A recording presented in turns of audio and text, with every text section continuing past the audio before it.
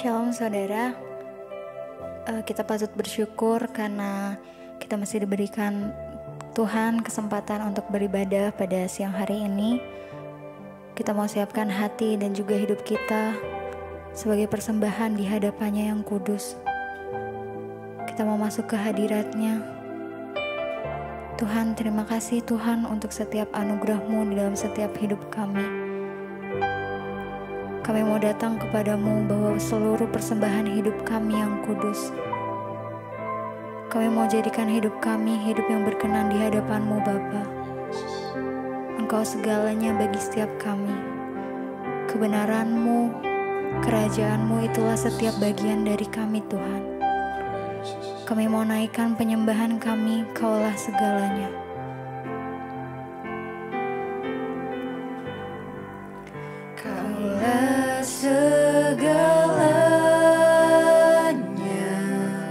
Segalanya di dalam hidup kami. Di dalam hidupku, kerajaanmu kebenaran. Kerajaanmu kebenaran.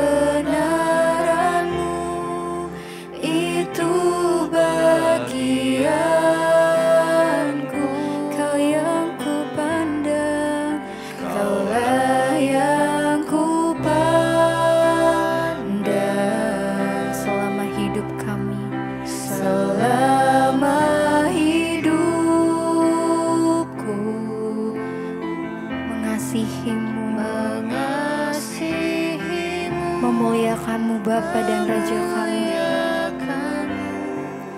Bapa dan Rajaku. Kita mau katakan penyembahan ini lebih lagi. Kaulah segalanya di dalam hidup setiap kami. Di dalam hidupku kerajaanmu, kebenaranmu Tuhan itulah bagian setiap kami.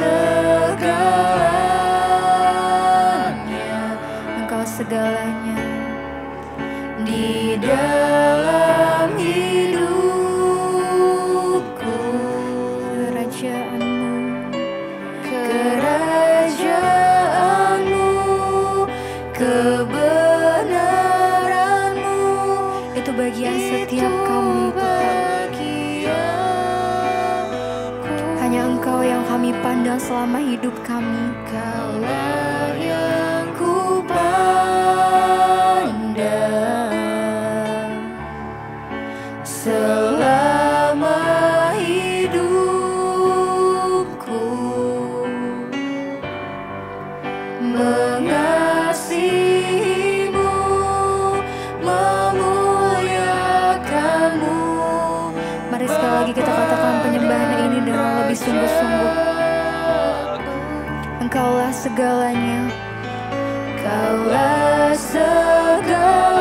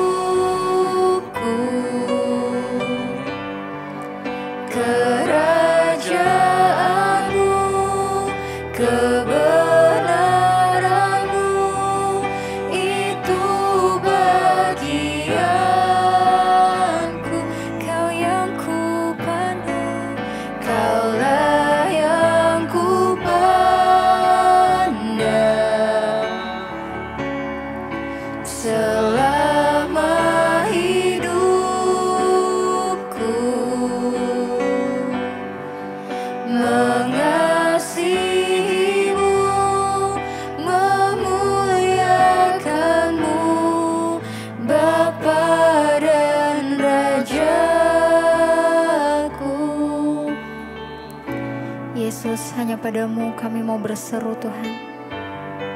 Engkau penyelamat kami. Terpujilah namamu di atas segala-galanya. Kita mau naikkan penyembahan kita.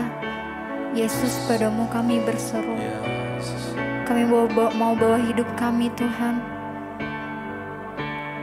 Mari katakan penyembahan ini. Yesus padamu ku berseru Engkau penyelamat kami. Kaulah penyelamatku Terpujilah kau Tuhanku mulutku Ku memuji namamu Sepanjang umur hidupku Terpujilah kau Tuhanku Di atas segalanya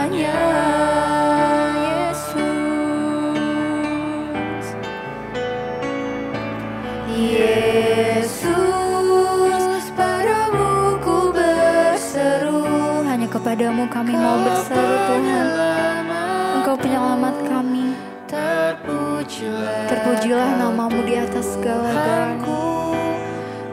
Bahkan mulut kami selalu memuji namamu Bapa di sepanjang hidup kami.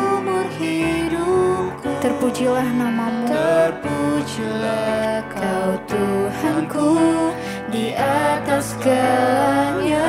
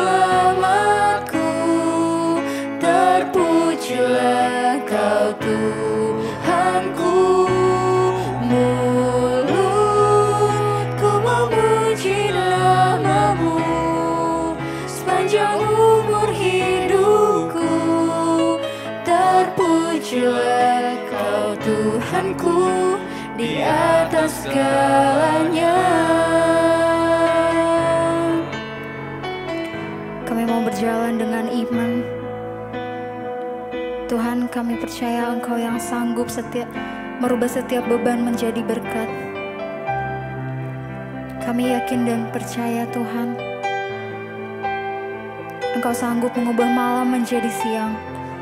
Bahkan engkau sanggup mengubah beban menjadi berkat Tuhan.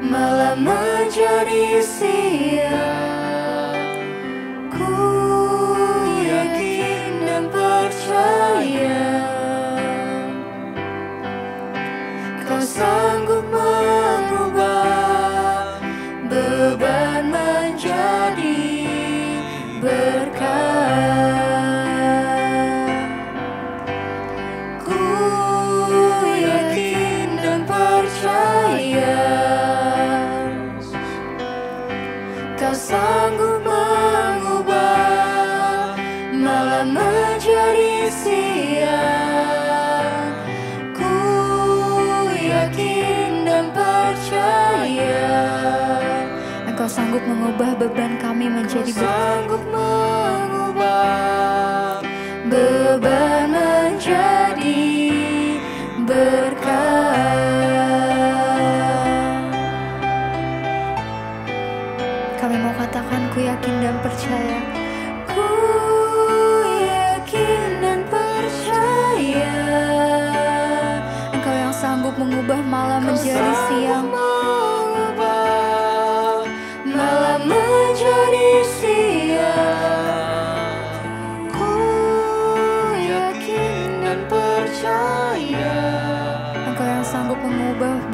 Menjadi berkat Kau sanggup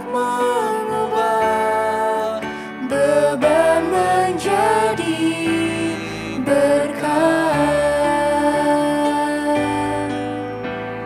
Ku yakin dan percaya. Engkau yang sanggup mengubah malam menjadi Kau sanggup mengubah. Engkau juga yang sanggup mengubah beban kami Tuhan. Mampu mengubah beban kami menjadi berkat untuk setiap kami. Terima kasih Tuhan. Kau sanggup mengubah beban menjadi berkat.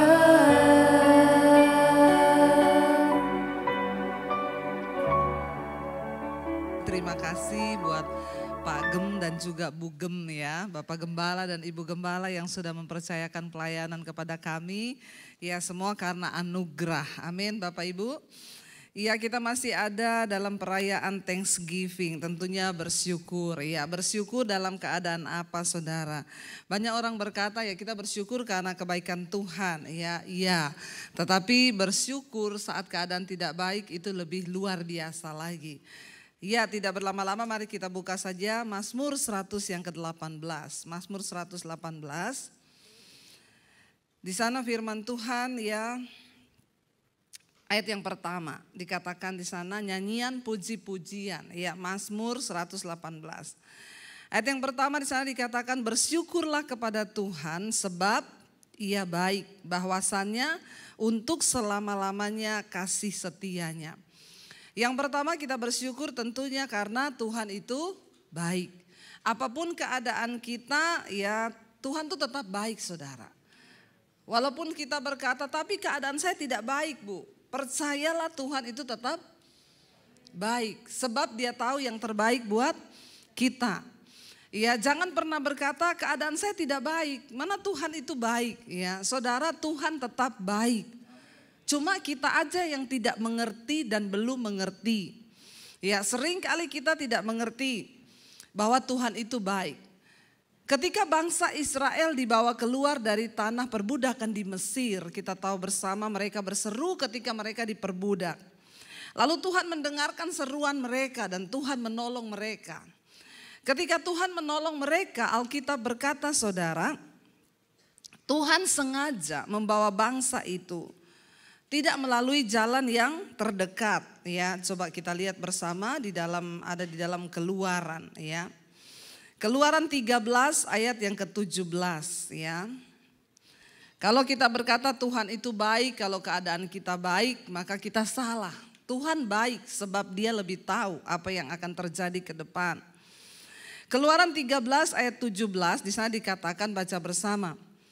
Setelah Firaun membiarkan bangsa itu pergi, Allah tidak menuntun mereka melalui jalan ke negeri orang Filistin, walaupun jalan ini yang paling dekat.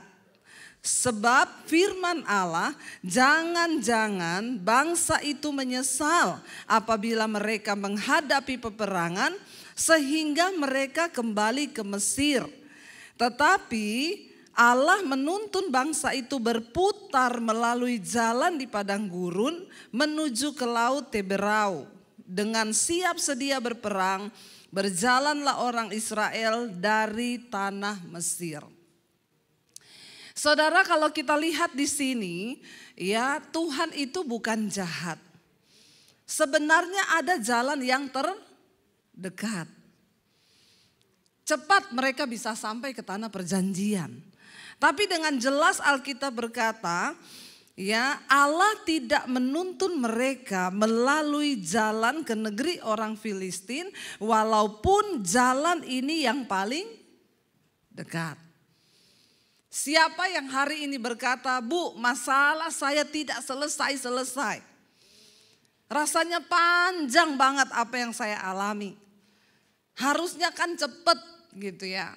Kita berkata harusnya Tuhan gak perlu membawa saya menderita seperti ini.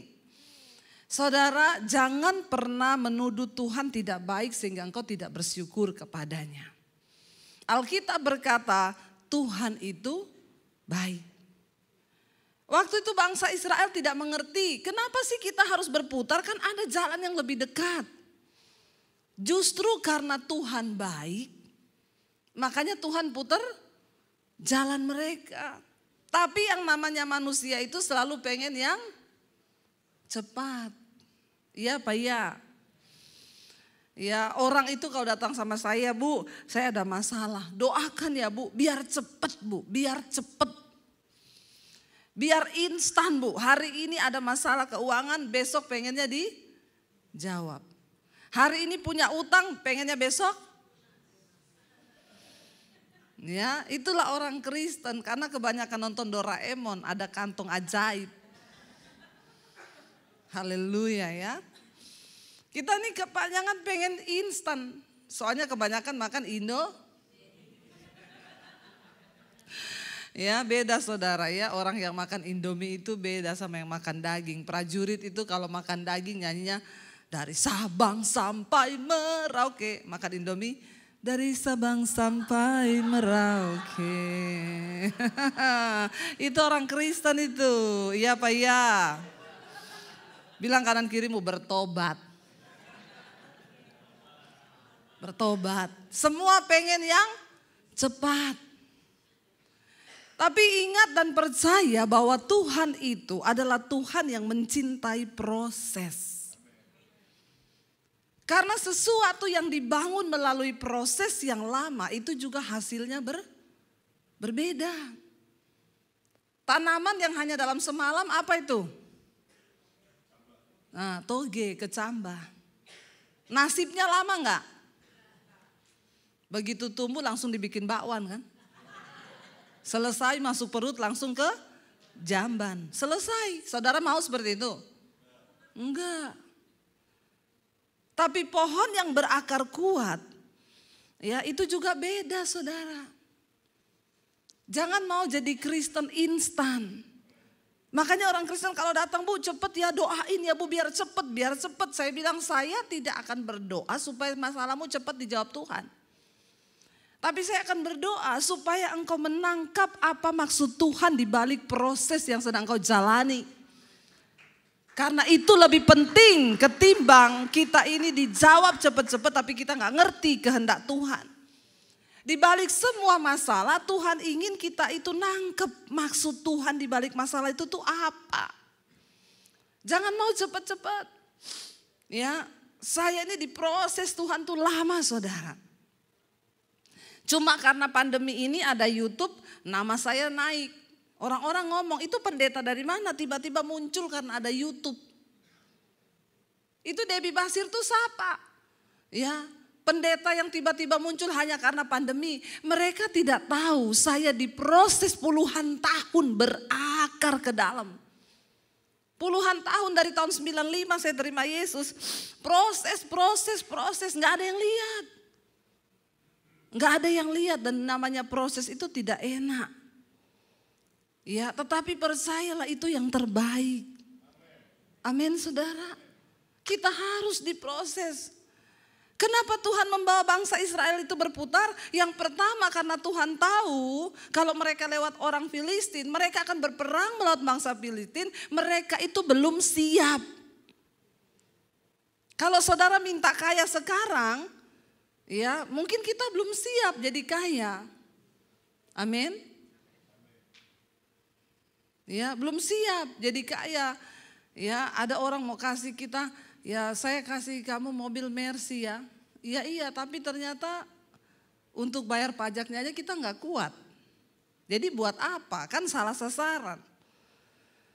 Ya kita kalau pergi pelayanan di daerah saudara ya saya kita suka bawa souvenir buat pendeta-pendeta di desa. Kalau bawa kulkas atau TV yang besar, saya tanya dulu, siapa pendeta yang nggak punya TV di sini, nggak punya kulkas, angkat tangan, maju semua lari ke depan. Tanya dulu, punya listrik gak di rumah? Loh, ternyata nggak punya kulkas, angkat tangan lari mau dikasih kulkas. Belum ada listrik, Bu. Ah, yes. berarti belum? Saudara kasih kulkas, dia nggak ada listrik. Nanti kulkas buat simpen baju. Itu kan salah. salah sasaran kan? Kulkas buat taruh baju, koran, buku. Nah itu salah saudara. Jadi Tuhan itu tahu kapan kesiapan bangsa Israel untuk masuk menduduki satu negeri yang sudah Tuhan siapkan. Saya baru mengalami yang namanya diberkati Tuhan itu mengikut Tuhan ini baru setelah pandemi. Ya kalau orang bilang OTW kaya. Tapi nggak apa-apa, kita diberkati untuk bisa menjadi berkat. Bukan untuk kita nikmati bagi diri sendiri. Kan bagus kan kalau pendeta diberkati senang kan saudara? Senang kan bukan dosa loh diberkati itu enggak dosa loh. Iya kadang heran juga lihat jemaat kalau pendeta diberkati katanya duniawi loh. Pendeta miskin tidak diberkati Tuhan. Giliran diberkati duniawi. Puji Tuhan loh di tengah pandemi kami diberkati. Sudah ada puluhan gereja yang kita bisa bangun di desa. Kalau Tuhan tidak berkati saya kan saya nggak bisa bangun itu gereja. Ya, ini sedang berjalan pembangunan sekolah misi di Bandungan, Semarang. Kami punya kerinduan menyekolahkan orang-orang dari desa itu gratis yang mau jadi pendeta. Supaya Indonesia tidak dihijaukan. Karena kami sudah keliling saudara.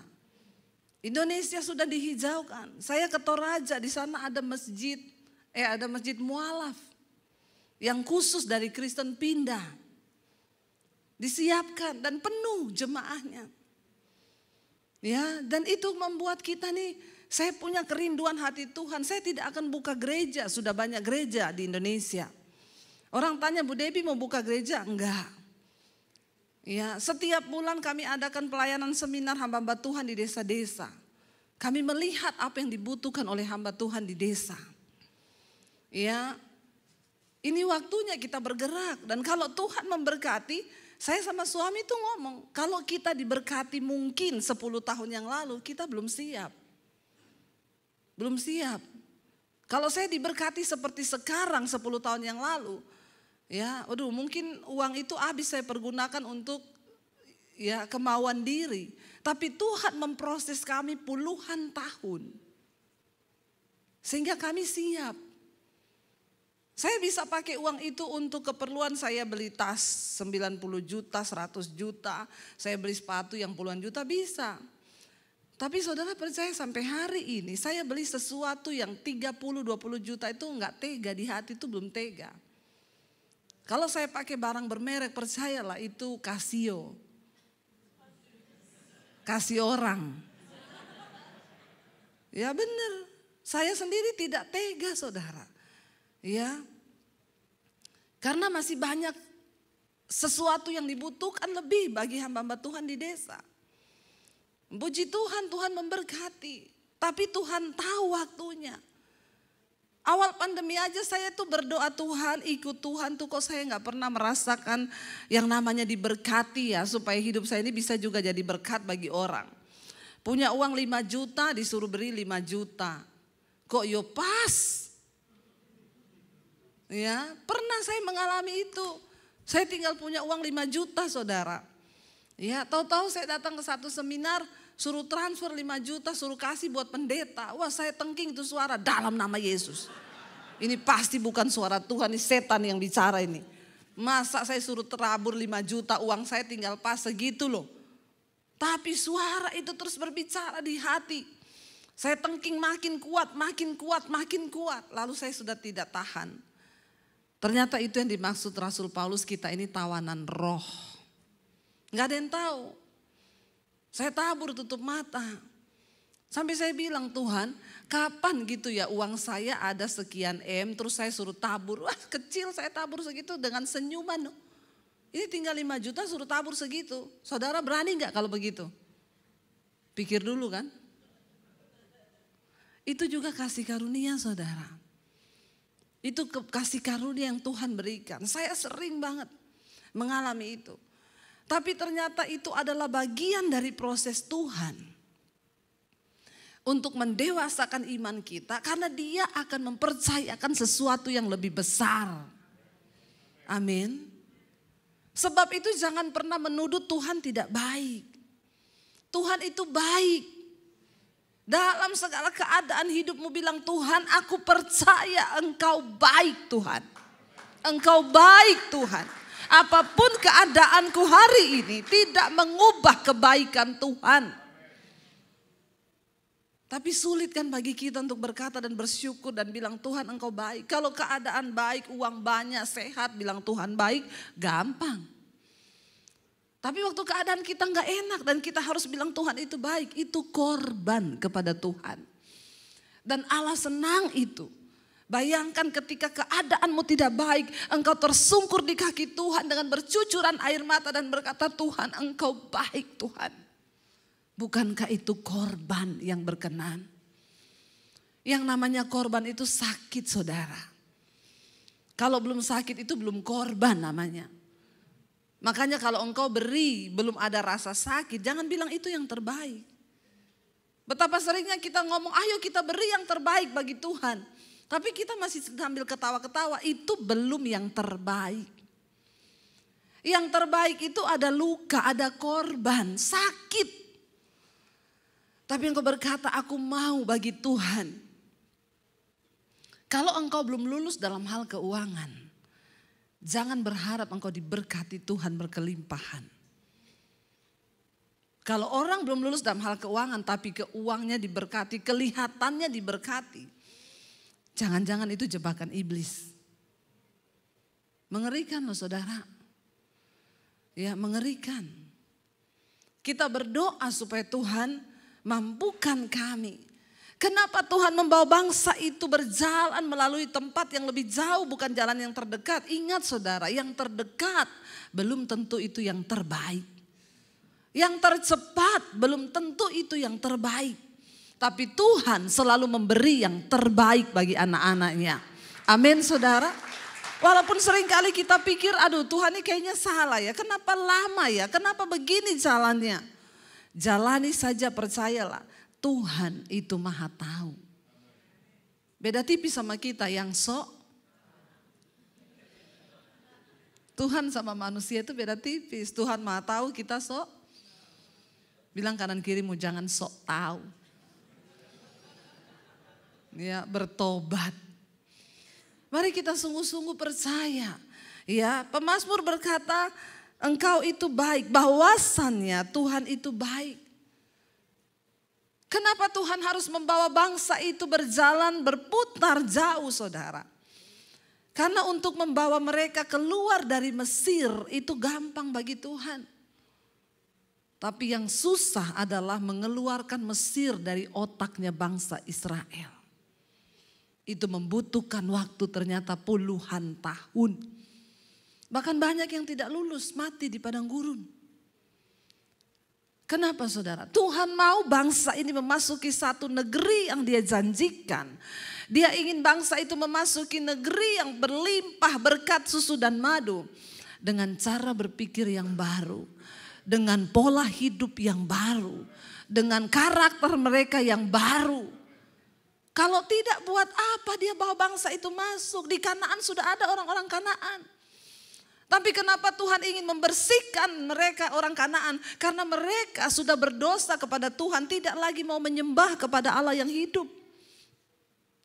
Mereka mencari Allah-Allah lain yang pada hakikatnya bukan Allah. Karena itu Tuhan membinasakan orang Kanaan dan membawa bangsa ini masuk dengan harapan Bangsa itu masuk dengan cara berpikir yang baru yang sudah dibentuk oleh Tuhan. Penting bagi kita melihat di sini saudara. Kita semua ini sedang berjalan menuju satu tanah yang Tuhan janjikan. Kalau hari ini engkau berharap hidupmu baik, percayalah Tuhan terlebih rindu hidupmu baik. Katakan amin, amin. Kalau hari ini engkau berkata Tuhan aku ingin hidup tanpa hutang, Tuhan lebih rindu kita hidup tanpa hutang. Kalau hari ini kita berkata aku pengen hidup sehat, aku pengen semua baik, keluargaku baik. Tuhan terlebih rindu. Sebab itulah janjinya supaya kita umatnya hidup di dalam segala yang baik. Tapi untuk menuju ke sana, semua perlu dibaharui. Cara berpikir kita, karakter kita, sikap hati kita, semua perlu dibentuk sama Tuhan. Karena kita ini sudah rusak oleh dosa. Sebab semua manusia telah kehilangan kemuliaan Allah, telah jatuh dan berbuat dosa. Dan itu butuh proses saudara. Ya karena itu jangan mau cepat-cepat. Bersyukur, yang pertama dikatakan bersyukurlah kepada Tuhan sebab Tuhan itu baik. Bahwasannya untuk selama-lamanya kasih setianya. Ayat yang kedua, biarlah Israel berkata, bahwasannya untuk selama-lama kasih setianya. Biarlah kaum Harun berkata bahwasannya untuk selama-lamanya kasih setianya. Biarlah orang yang takut akan Tuhan berkata bahwasannya untuk selama-lamanya kasih setianya. Kenapa Mazmur 118 ayat 1 sampai 4? Itu terus terus dikatakan bahwasannya untuk selama-lamanya kasih setianya. Karena di dalam pengiringan bangsa Israel kepada Tuhan mereka hampir hampir tidak percaya lagi. Waktu mereka berjalan di padang gurun tidak ada makanan, mereka berkata, "Kenapa Tuhan membawa kami untuk mati di padang gurun?" Katanya dia Allah yang setia, tapi apa yang kami alami? Mereka memberontak kepada Tuhan. Mereka tidak percaya lagi kepada Tuhan. Ketika tidak ada air, mereka marah kepada Musa dan berkata, "Kenapa Tuhan membawa kami keluar untuk mati di padang gurun? Mending kami tinggal di Israel, di, di Mesir, menjadi budak, tapi kamu bisa makan enak." Perhatikan saudara, pola pikir bangsa Israel selalu cenderung kepengen balik ke hidup lama, balik ke hidup lama, balik ke hidup lama. Kenapa Tuhan harus proses mereka puluhan tahun? Supaya mereka tidak lagi menoleh ke belakang. Apa pun yang terjadi dalam hidup kita, jangan pernah ingin kembali kepada hidup yang lama. Jangan pernah saudara. Hari-hari ini betapa luar biasa proses. Saya ketemu dengan beberapa orang yang dulu worship leader di gereja, sekarang sudah pakai begini. Statusnya di IG, insya Allah worship leader loh. Bahasa roh di gereja. Kenapa bisa ber, berganti haluan? Tekanan hidup yang begitu berat membuat orang terkadang berpikir tidak ada lagi Tuhan. Gak ada kasih setia Tuhan. Hidup ini kita akan mengalami banyak tantangan saudara. Dan kita tidak bisa memilih keadaan apa yang harus kita alami.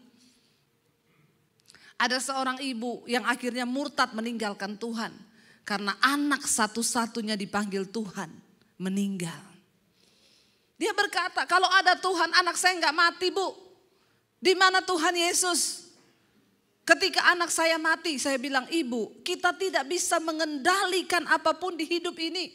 Makanya kita harus kembali berkata, semuanya adalah milik Tuhan." Tapi saya cinta anak saya. Anak saya anak yang manis. Dia tidak nakal. Dia tidak bikin begini-begini. Kenapa Tuhan gak panggil anak-anak yang nakal? Saya bilang ibu bersyukur kalau anak ibu baik. Dia manis dipanggil Tuhan langsung ke sorga bu. Kalau anak-anak nakal dipanggil Tuhan ke neraka. Tapi itulah pemahaman manusia dengan pemahaman Tuhan sering kali salah. Alkitab berkata Tuhan tidak berkenan kepada kematian orang fasik, tetapi kepada pertobatannya. Kenapa kita sering bilang orang baik itu cepat mati ya? Orang jahat tuh kok nggak mati-mati? Kan kita sering ngomong begitu ya. Karena Tuhan tuh tidak berkenan kepada kematian orang fasik tetapi kepada pertobatannya. Kalau sudah kebangetan orang fasik mati ya sudah kita tahu jalannya langsung ke ke neraka. Saya bilang ibu harus mengubah cara pikirmu. Harusnya ibu bersyukur. Anakmu mati dalam keadaan baik. Dia ngajar sekolah minggu. Ibu bersyukur bu. Bahwa segala yang kita punya di hidup ini bukan milik kita. Sadarilah itu supaya kita bisa bersyukur. Makanya kita harus berakar kuat di hidup ini. Supaya apa pun yang terjadi engkau tetap bisa berkata bahwasannya untuk selama-lamanya kasih setia Tuhan bagi hidupku. Amin saudara. Dalam segala keadaan. Jangan berpikir bahwa Tuhan itu baik hanya ketika keadaan kita baik. Banyak orang saudara akhirnya meninggalkan Tuhan. Persis kehidupan bangsa Israel ketika mengalami tantangan pengen balik, pengen balik ke kehidup yang lama. Tuhan itu mau kita melihat ke depan. Mata kita tertuju ke depan, hanya melihat kepada Tuhan. Dalam segala keadaan bersyukurlah dan bilang, Tuhan engkau baik bagiku. Engkau baik, saya ikut Yesus puluhan tahun. Air mata saudara, air mata saudara tahu kesaksian saya. Saya mengalami hidup yang tanpa uang satu sen pun. Tidak ada satu orang pun yang bisa saya jadikan sandaran hidup saya ketika saya ikut Yesus. Cuma Tuhan. Tapi tidak pernah saya berkata Tuhan jahat. Saya selalu berkata engkau baik Tuhan. Memang bertentangan dengan logika. Melihat keadaan di depan seperti itu dengan bercucuran air mata saya cuma bilang engkau baik Tuhan. Engkau baik. Terlalu banyak orang Kristen yang tidak diproses saudara. Makanya kekristenan itu cuma biasa-biasa saja. Saya berdoa di sini yang belum diproses biar diproses Tuhan. Aminnya sedikit toh. Baru kali ini ada pendeta yang doakan supaya jemaatnya diproses Tuhan. Biasanya semua pengennya semua baik-baik saja. Tanpa proses engkau tidak mungkin berkenan kepada Tuhan. Kita semua harus dihancurkan. Kita semua harus dimatikan. Supaya kita menjadi orang yang berkenan di hadapan Tuhan. Karena kalau tidak saudara hidup kita hancur. Ya dan kita tidak mendapatkan perkenanan Tuhan. Makanya ayat 1 dan 4 berkata di sana ditekankan kembali. Biarlah Israel berkata Tuhan itu baik bahwasanya untuk selama-lamanya kasih setianya. Biarlah kaum Harun berkata bahwasannya untuk selama-lamanya kasih setia Tuhan. Biarlah orang yang takut akan Tuhan berkata bahwasannya untuk selama-lamanya kasih setianya. Tuhan itu penuh dengan kasih setia. Tapi sering kali kitalah yang tidak setia. Kenapa bangsa Israel butuh puluhan tahun untuk menyelaraskan cara berpikir mereka dengan cara berpikir Tuhan. Karena manusia itu cara pikirnya dengan cara pikir Tuhan beda. Kita selalu pengen yang tercepat, kita selalu pengen yang terbaik. Kita pikir hidup yang diberkati adalah hidup yang nyaman tanpa proses engkau salah. Justru ketika Tuhan mengasihi seseorang, Alkitab berkata Tuhan menghajar orang yang dikasihinya. Tuhan menghajar orang yang dianggapnya sebagai anak. Kalau kita tidak dihajar Tuhan berarti kita nggak dikasihi Tuhan saudara. Apa pun proses yang kau jalani hari ini percayalah. Ketika kita sungguh-sungguh mencari Tuhan Ketika kita sungguh-sungguh berserah kepada dia, maka dia turut bekerja mendatangkan kebaikan. Saya undang para imam musik maju ke depan waktu kita hampir habis. Saudara, hari ini kita mau berkata, kami percaya Tuhan, Engkau mendengar lebih dari yang kami doakan. Tuhan menjawab lebih dari yang kita harapkan. Percayalah dia yang lebih tahu apa yang terbaik. Kita menaikkan pujian ini bersama-sama. Tidak selamanya Tuhan itu menjawab doa kita ya. Tapi percayalah dia tahu yang terbaik buat kita. Mari kita bangkit berdiri bersama saudara.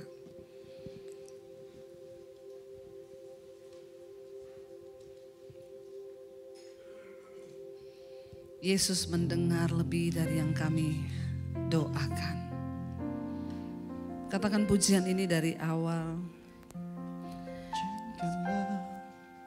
Tuhan menjawab doa, namun Dia beri yang terbaik di waktu yang tepat. Izinkanlah, izinkanlah Tuhan untuk bekerja yang mustahil menjadi mungkin oleh karena percaya. Sekali lagi katakan tak selalu tak selalu.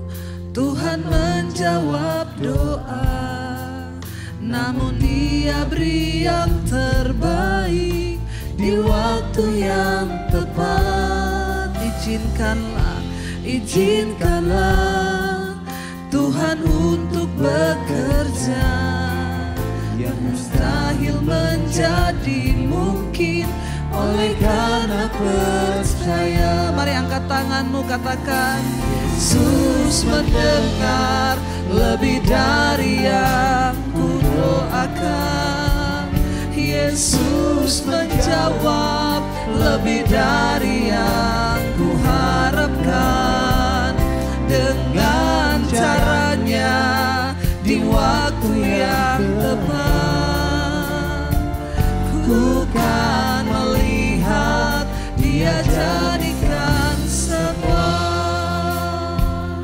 sekali lagi katakan dengan iman kami tahu Tuhan tak selalu tak selalu.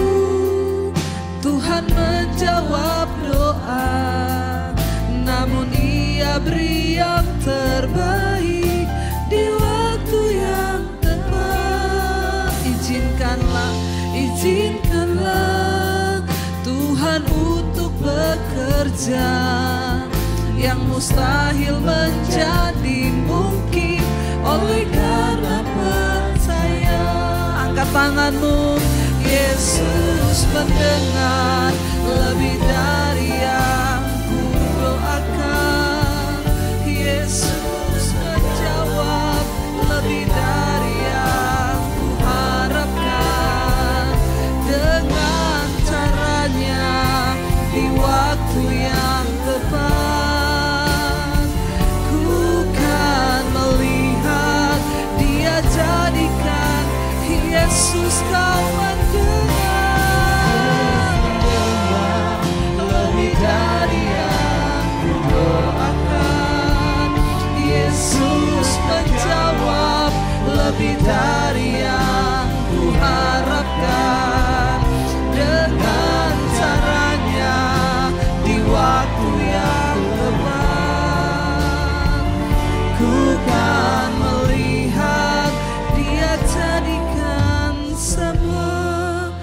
mari tutup matamu dalam hadirat Tuhan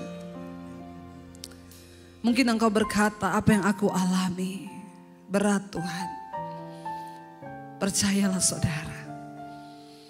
Tidak selamanya Tuhan menjawab doa kita dengan kata ya. Tapi selalu dia bekerja dengan cara yang terbaik di hidupmu. Hari ini cobalah mengerti kehendak Tuhan.